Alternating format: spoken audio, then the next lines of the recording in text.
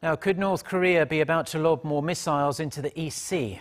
Analysing photos released by the regime, experts say the North could be readying for a missile provocation involving its new submarine launched ballistic missile, or SLBM. CNN is also reporting that another North Korean missile launch could be imminent. Kim Hyo Sun reports. North Korea has revealed nearly 200 photographs of its missile arsenal. They were showcased at a special performance on July 9th, celebrating the regime's successful testing of its first intercontinental ballistic missile a few days earlier. Along with a Korean character that presumably reads Pukguksong, the last character on a missile-shaped canister next to the North leader Kim Jong-un looks like either a 3 or an 8.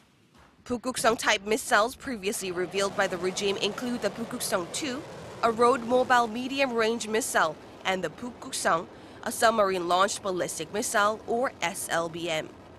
Experts say the photos could signal that the regime is preparing for another round of provocations involving a new SLBM.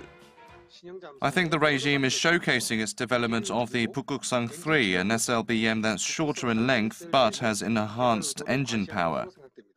Quoting numerous U.S. government sources, CNN is reporting North Korea is preparing for an intermediate range ballistic missile, IRBM, or an ICBM test.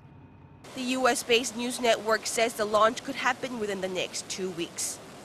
It added that the North is continuing preparations to launch a SLBM, although progress is still at a very early stage. Kim Hyo-sun, Arirang News.